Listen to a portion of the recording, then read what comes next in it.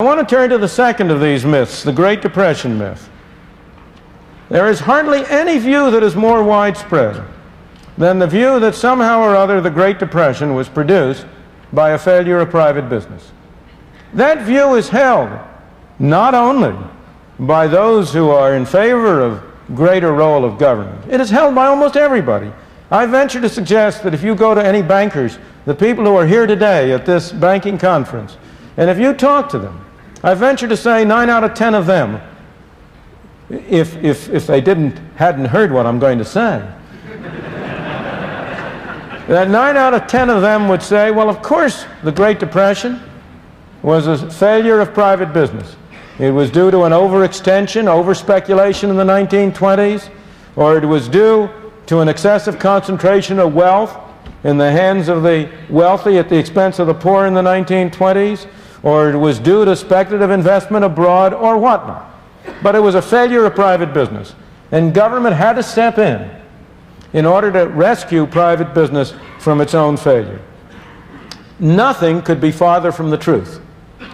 The Great Depression was produced, in my opinion, and I may say this is a, not a random opinion.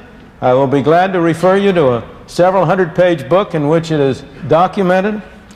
I won't tell you who the author is. Mr. Eccles did that. It was produced, the Great Depression was produced by a failure of government, by a failure of monetary policy. It was produced by a failure of the Federal Reserve System to act in accordance with the intentions of those who established it. It was produced by a failure of the Federal Reserve System despite the presence of knowledge on the part of many of the people in the system about the right course of action. It's interesting to speculate for a moment about why this myth is so widespread. The answer is really very simple in this case. Private enterprise has no press agents. The free market has no press agents. The government has a great many press agents. The Federal Reserve has a great many press agents. And the Federal Reserve, of course, would never admit, never proclaim that it produced the Great Depression. On the contrary. And again, I don't mean to be criticizing individuals. We're talking about the way institutions operate. You and I are the same as all the rest of us. We're all the same. The hardest thing in the world is for anybody to admit that he made a mistake. If any one of us makes a mistake, we can always find somebody else to blame. And if you read, as I have for my sins had to read, the annual reports of the Federal Reserve System over a 50-year period. There's only one element of humor that lightens that task, and that is the cyclical fluctuation in the powers of the Federal Reserve.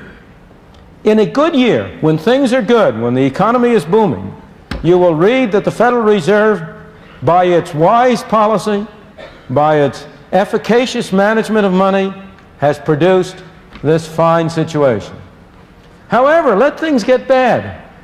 And all of a sudden, the tone of the annual report is different. Then you discover that despite the best efforts of the Federal Reserve, outside forces combine to produce difficulties.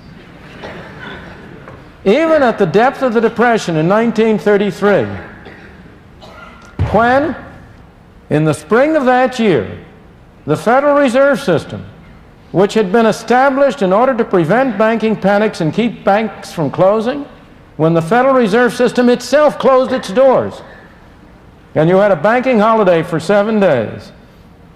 And when, over the previous three years, a third of the banks of this country closed their doors and went broke, because, in my opinion, of the poor policy followed by the Federal Reserve System. Even in 1933, if you read the annual report, you will discover how much worse things would have been if the Federal Reserve hadn't behaved so well. Now, as I say, I don't blame the members of the Federal Reserve for that. Any one of us would do the same thing. We have to find somebody to blame. But as an objective scholar, I can tell you what the facts are. The facts were that from 1929 to 1933, the total quantity of money in the United States, the amount of currency, the amount of bank deposits, what Mr. Eccles referred to as M2, that total amount of money declined by one third. The total number of banks went down by one third. And why did the quantity of money decline? It declined because the Federal Reserve System failed to prevent the decline. The Federal Reserve System could have prevented the decline at all times. There never was a moment during that period when the Federal Reserve did not have the power to prevent the decline in the quantity of money.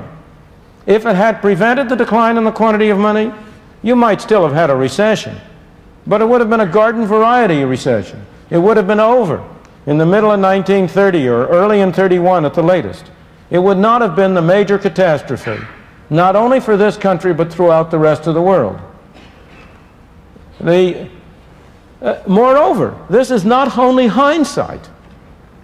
At all times, the people at the Federal Reserve Bank of New York and at a number of other banks were pleading with the Federal Reserve Board in Washington to do the right thing. At all times, there were people in Congress who were arguing that the Federal Reserve System should take a different course. At all times, there were outside commentators. One of the Canadian banks was particularly prescient, but there were other commentators who were pointing out the disastrous effects on the American economy of the restrictive policies that the Federal Reserve System was following and which was causing, was permitting and facilitating a whole series of bank runs. So the Great Depression was not produced by a failure of business. On the contrary, it was produced by a failure of government and a failure of government in an area in which responsibility had been assigned to government since the founding of this country the Constitution of the United States. It gives Congress the power to coin money and set the value thereof. And it was in the management of this fundamental function of government that government failed and produced the Great Depression. We have learned from that failure. The Federal Reserve will not fail in the same way again. This time it will fail in a different way. This time it has been failing, not by producing a Great Depression, but by producing an inflation. Because just as you will hear the story that it was business that was responsible for the Depression, so you will today hear the story that it is labor and management that are responsible for inflation. It is the same kind of a myth. Inflation is made in one place and one place only, Washington, D.C. And in Washington, D.C., the chief source immediate source of inflation is a Greek temple on Constitution Avenue, in which, which houses the Federal Reserve Board. An accomplice, and a major accomplice, of course, sits in the halls of Congress uh, in Washington. They are a major accomplice because you tell them to be. The American people have been telling Congress for many years, spend more money on us, please. But they've been telling us, don't raise our taxes. Congress has been listening. It's been spending more money on you. But on the other hand, it's been very unwilling to raise taxes. As a result, it has imposed inflation as a tax. That's one tax that you don't have to vote for, but you have to pay.